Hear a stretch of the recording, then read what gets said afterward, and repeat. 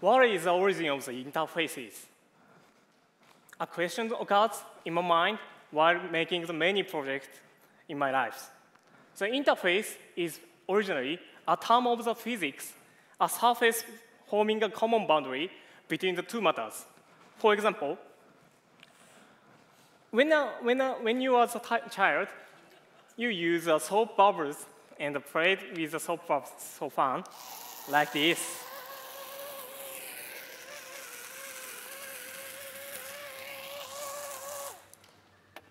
And this is so beautiful, and there's the interface.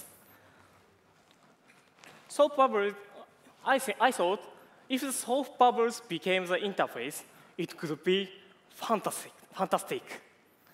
Adding to that, I'd like to talk about the future of the interface today. And please look at this. If the images on your hands, wasn't it, uh, uh, uh, wouldn't it uh, nice and cool?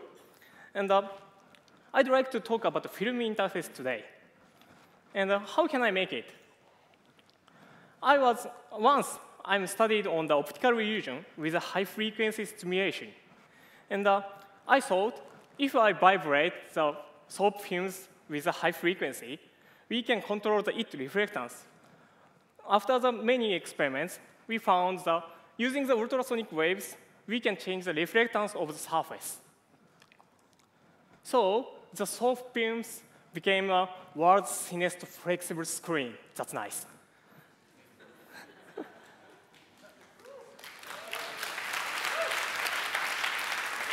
and, and why I make the flexible UI? The appearance of the user interface are square and very hard.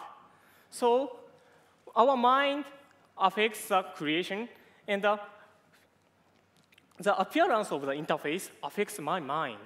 So how, what is the problem? That is uh, how to build the images of the interface or how to release our mind from the interfaces, hard UIs.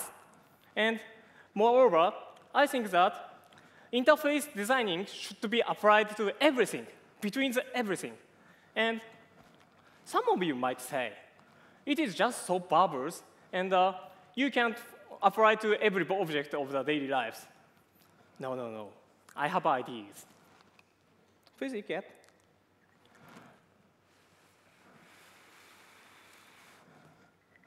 These looks like a soap films, but it's not easily to hop.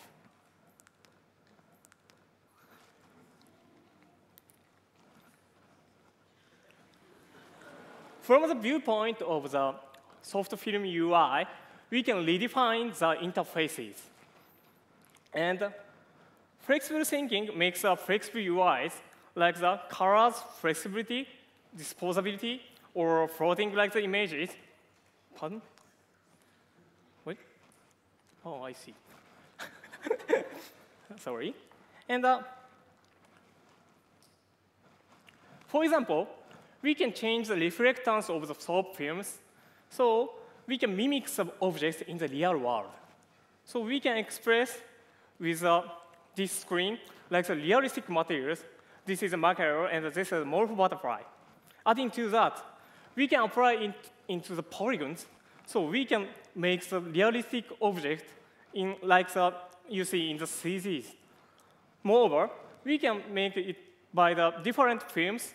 We can make the dynamic texture furniture or transparent screen for the cell phones, like this.